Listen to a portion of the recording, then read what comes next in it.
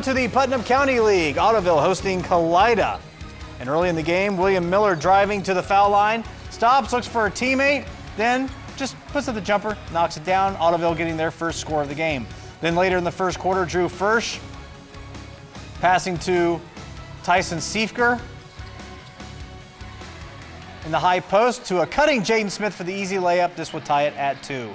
Then later in the quarter, Miller driving to the basket and the pass to William Horseman. Horseman to Carter Schnipke. Schnipke wide open in the corner.